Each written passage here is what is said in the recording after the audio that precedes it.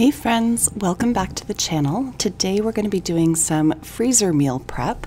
And before we get into the video, I just want to be very clear. I'm not a nutritionist, I'm not a dietitian, I have no formal training in this, as well, not a skilled chef. So from a practical perspective, you're probably going to see a few errors, but it's all a learning curve, and I just wanted to share some easy meal ideas with you. So for the first meal, I'm preparing two servings of steak with cut up peppers and onions. So to prepare the steak, I'm just mixing some olive oil with some minced garlic. Of course, you could just buy garlic and mince it yourself, but I don't have time for that, so I just bought the big old jar of it. And you can see I'm just brushing that oil and garlic on the steak, and then I'm seasoning it with some pepper and salt, and I'm doing that on both sides. It's crazy to me because I used to be able to eat a steak that full size, and now the plan is that that's going to feed my husband, myself, and my daughter. I don't eat a lot of red meat anymore because it oftentimes does hurt my stomach, but I'm holding out hope for this one. And here I'm just slicing up these baby mini sweet peppers. I've never tried them before, but I've heard that they're very good. So we're giving them a go. I'm just cutting them in half so that they have a pretty good size to them because I plan on cooking this in the slow cooker and I don't want them to get too mushy. So there they are all prepared. Also, we're going to be working on the angles and the lighting and all that situation, but for today, this is what we're working with. And then I'm just throwing all of that into the freezer bag. Also, you're to see the soy sauce in the background for quite some time. I don't actually use it in anything in this video, so just pay no attention to it. I thought I could get all of the meals prepped in one video, but we would have been here for far too long. All right, and I've just sped up the footage a little bit for the onion chopping. I'm sure there is a far more technical and more efficient way of doing it, but it got the job done at the end of the day, and these are just regular sweet onions, nothing fancy. I just bought like a two pound bag of them and you're going to see them over and over again in this video. I think I used every single one of these onions, which is awesome. There was no waste there. And I'm just adding that into the freezer bag. Then I will squeeze out as much of the air as possible. And I now have two meals for three of us.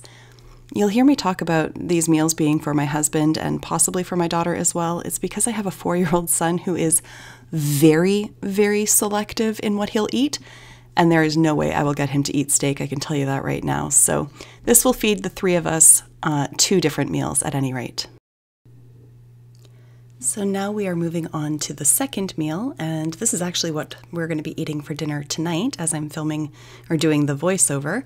And this is basically a lemon pepper chicken. So, I bought the chicken that was already pre sliced into little fillets in retrospect, I should have cut them at this point, at least into half, if not thirds, but I will take care of it. Now that it's out of the freezer and they're still a little bit dense, I will cut them up before I cook them tonight, just so that we get more chicken out of the deal. Uh, and then I'm going ahead and zesting the lemon. Pro tip, we'll put pro in air quotes, but don't zest it all the way down to the white of the rind because that's where all the bitterness is but that nice bright yellow part is where the oils are and it just brings out that lemony flavor. So now I'm cutting the lemons in half, although really I probably only needed to cut one in half. The other one I do end up slicing. The sliced lemon actually does hold up really well in the freezer, both in terms of the texture and in the flavor. So don't be scared, I guess, of slicing or freezing sliced lemons. But at any rate, I have gone ahead and sliced that up. I'm going to throw those into the bag just to again help with flavor, especially as it is defrosting and sort of marinating in its own juice. And then I'm going to go ahead and juice the other lemon so that I can add that to the um, to the freezer bag. And then I am cutting up some fresh parsley, and you'll see a few stems. I wasn't quite careful enough uh, removing the stems first, so again, it's a learning curve, but at any rate, we have some fresh parsley. Chopping that up as finely as I can. I'm actually on the hunt to replace my chef's knife because this one is very old and quite dull. Uh, regardless, added the parsley to the bag, and now I'm using a lemon pepper seasoning salt that I picked up at Bulk Barn. and just adding about two tablespoons or so in there. A lot of this is just kind of guesswork, but giving it a nice massage and again, squeezing out as much air as possible. And that brings us to our third meal. So now I am starting the prep for some enchiladas that I'm going to be making, and then we're going to see a little bit of another meal component coming in. So while I'm prepping the enchilada meat, I'm also preparing ground beef and cut up bell peppers and onions for spaghetti sauce. So I'm basically just doing all the grunt work that would go into spaghetti sauce so that the day that we decide to have it, I can just throw it into the slow cooker with some marinara and let it cook while we're at work. But back to the enchiladas, you can see that I'm just really finely dicing up that onion, and then we're going to move on to cooking the meat. So into an already oiled cast iron pan, I'm just adding some garlic, and then I'm going to go ahead and add the onions as well, although really if I wanted those onions to caramelize, I probably should have cooked them first. These are the things that I'm learning in watching other people's meal prep videos, but this is how we did it for today. They are very finely diced, so the cook time is a little bit shorter for them in any event. And then obviously just added in the ground beef, and I'm going to let that all cook together. So, switching gears, this is the prep for the spaghetti sauce base. I apparently forgot to uh, film the chopping of the green pepper and the onions, but it looks largely the same as what I'm doing to the celery, so nothing too exciting there. But these are the veggies that Barry and I both really enjoy in our spaghetti sauce, so I am doing them on a bit of a thicker cut so that as they're warming up in the slow cooker, they still have like a little bit of a crunch to them. I don't like my veggies to be super mushy, so that's why they're a little bit bigger back over to enchiladas and I'm seasoning the ground beef with some taco seasoning and also some taco sauce. You could use enchilada sauce as well. I really don't know what the difference is between the two, but this was just a convenient format of this bottle and good size for what I'm doing as well. But definitely want to season your meat, even if it's just salt and pepper. Seasoning your meat while cooking is so much better than just seasoning it after. Um, but at any rate, there you see the meat there, and it's just going to continue to cook until it is cooked all the way through. All right, and on to the spaghetti sauce base again. I'm just adding some olive oil to a nonstick pan. You can use nonstick or cast iron. I just happen to only have one cast iron and it was in use already, so I switched over to my nonstick pan and then added a generous amount of minced garlic to the bottom because it's going to go into spaghetti, and what better spice for spaghetti than garlic? And then to the garlic, I'm going to add the veggies. I don't really know technically if I should cook the meat first and then add the veggies or if doing it this way is okay. That was like one of those blind moment of panics that I had during this whole process. I was like, I don't know if I'm doing this correctly. Never really cared until I filmed myself cooking. But at any rate, we got her in there, and then you will see in just a moment that I did push the veggies over to the side after they'd been cooking for a little while and made some room for the ground beef. You can see me raising my arm there. I'm just adjusting the um, temperature of the burner. Our stove is wildly aggressive, so when they say, you know, bring it up to medium heat, that's like level two on my stove. It's crazy. It's so, so aggressive. But again, just cutting down that meat. I want to get one of those like actual meat chopper upper things. I, it, I, don't know what it's actually called, but I have it added to my Amazon wish list. So I just uh, have a few other items that I am debating what I want to get, and then I'll just place one order. But it'll definitely be easier than doing it with this plastic spatula because it's a little bit flimsy for this job. Then again, I'm adding some salt and some pepper to the beef just to season it while it cooks. I love this little salt dish. It makes me so happy. I don't know why. Barry thinks I'm funny, but I just love it. It makes me feel a little bit professional, I guess. And then adding in a bunch of this parsley because I had so much of it. And then I just stirred everything together, but for some reason my camera only wanted to focus on my boob and not the actual frying pan, so thanks for that, camera.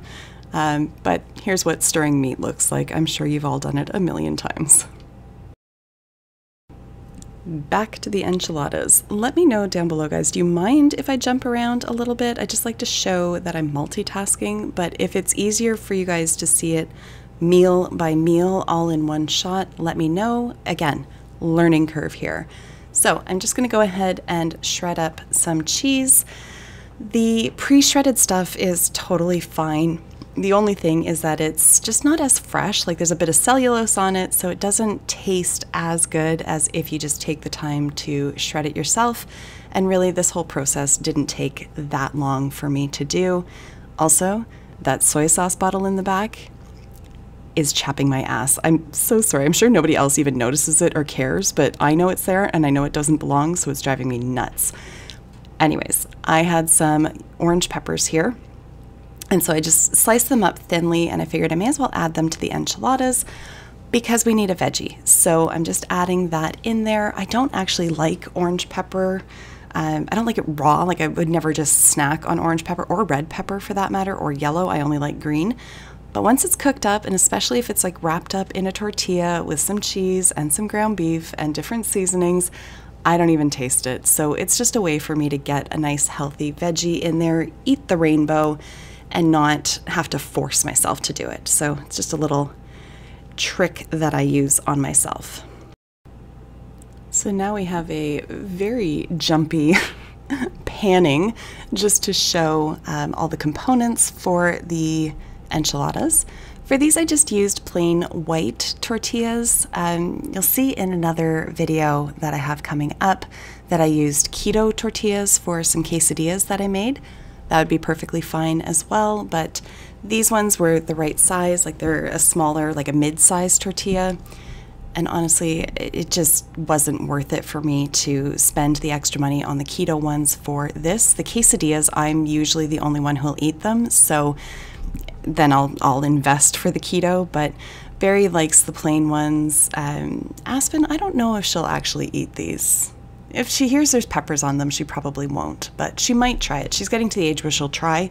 Bennett, absolutely not, unless it's a chicken nugget. So if you have ideas on fussy toddlers and how to feed them, please let me know down below what your fail safes are because that kid doesn't like anything and it's exhausting. So, at any rate, you can see the process here adding some sour cream, adding some beef, some cheese, and then the peppers, and then a squirt of this enchilada sauce on top, rolling it all up and placing the seam down. Now, what I forgot to do was spray this pan, so I might have a bit of a nightmare on my hands when I actually go ahead to cook it, but uh, time will tell. We shall see.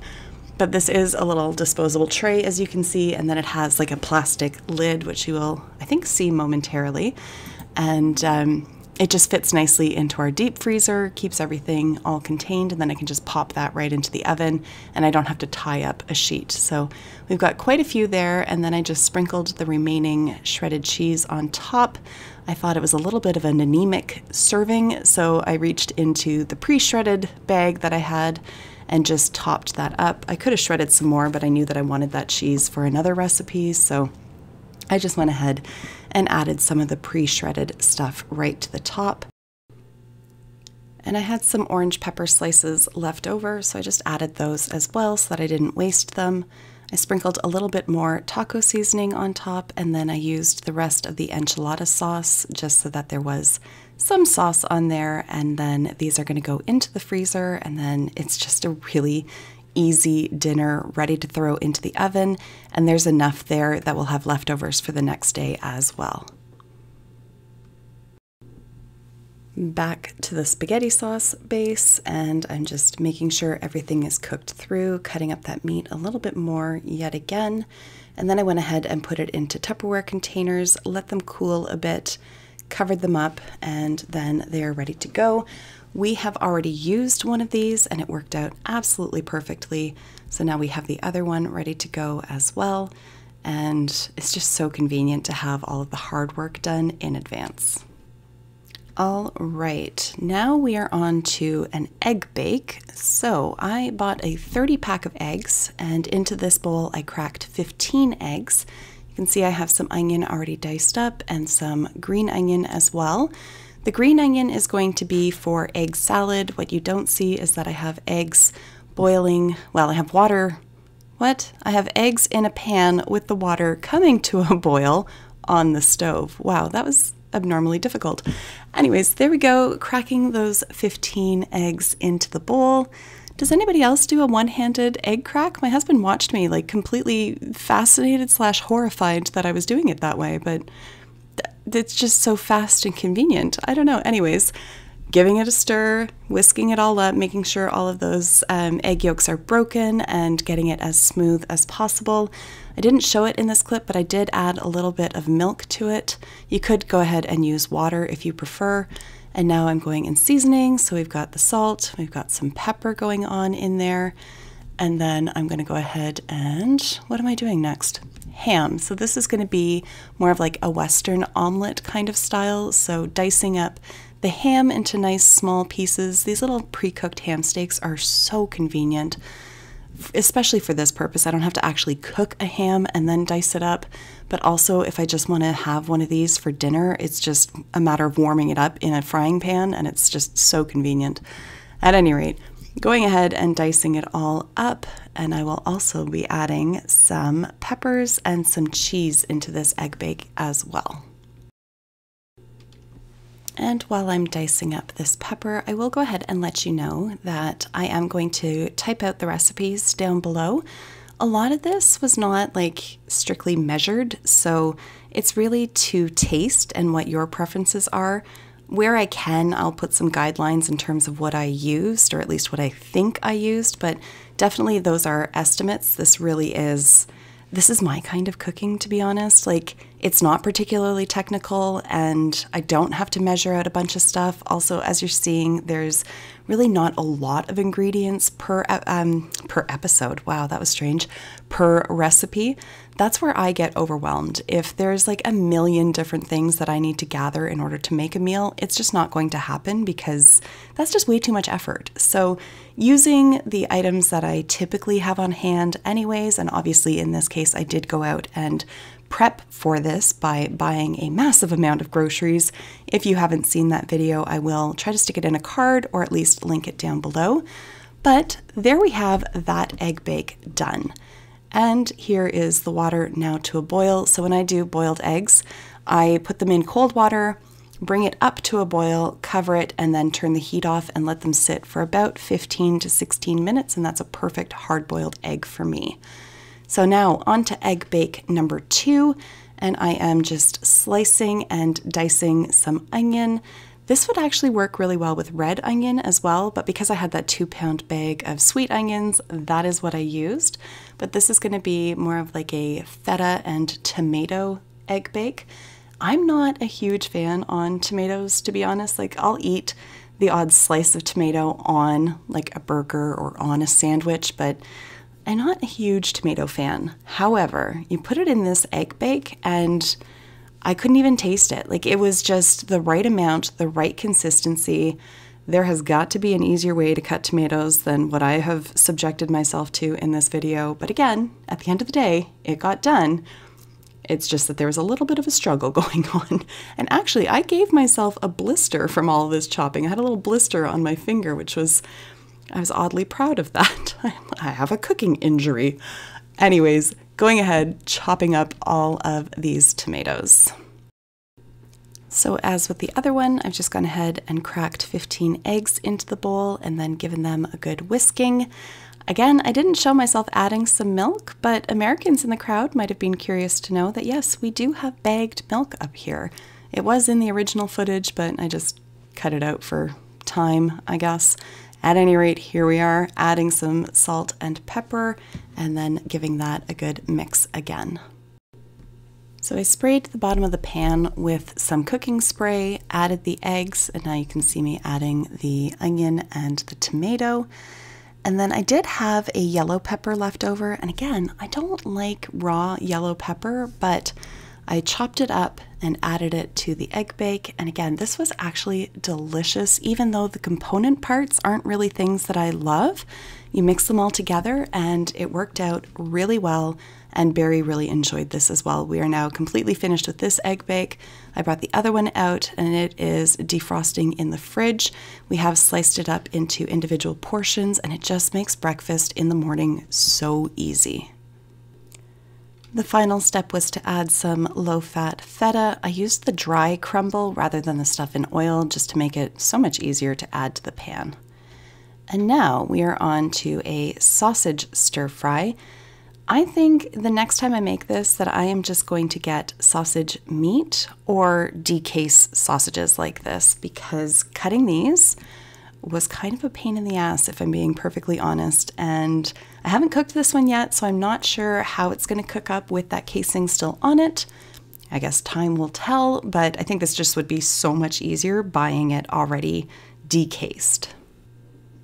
It did get a bit easier when I was able to grab multiple sausages in my hand, but my stumpy little hands will not hold five sausages at a time. I'm sure there's a wildly inappropriate joke in there somewhere, but it's low hanging fruit and I am not going to make it. So, by now, you might have realized that one of my favorite vegetables for cooking is peppers, um, peppers, I guess. Even though I don't like the yellow and orange peppers and all that raw, I like them when they're cooked in with other items, especially like really flavorful items like sausage. So that's just what I go for. I, don't like zucchini. It's a textural thing. I just I don't like it. Potatoes and I don't always get along. They can hurt my stomach really quickly, so I don't use a lot of potatoes. And I mean, I know there's other vegetables out there, and I do need to get a little bit more adventurous and try cooking with some other ones. But for today, it's very pepper centric and onion centric, and frankly, I'm okay with that. One thing I didn't add to this bag was any seasoning, mainly because I couldn't think of what to add. So let me know down below what would you season this with aside from salt and pepper, if anything, so that when I'm cooking, I can have some inspiration. Please let me know your suggestions in the comments down below.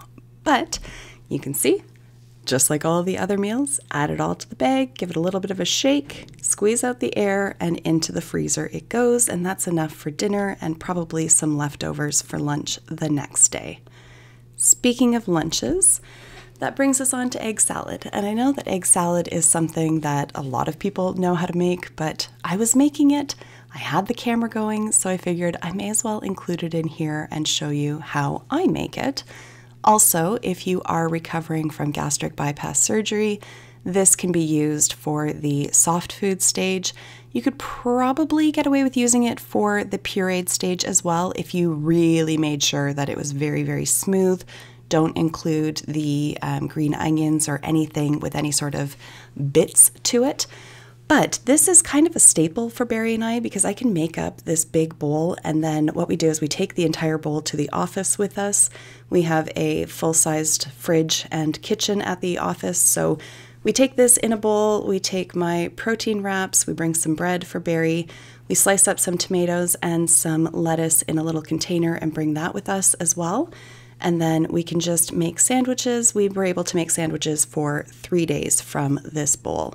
And again, that's about 10 to 12 eggs in there. I can't remember exactly off the top of my head. I did cook up some extra hard boiled eggs for the kids because as long as I let them take the yolk out of it, they will eat the egg white. And if they're only going to eat one part of an egg, that is the part I'd rather have them eat in any event.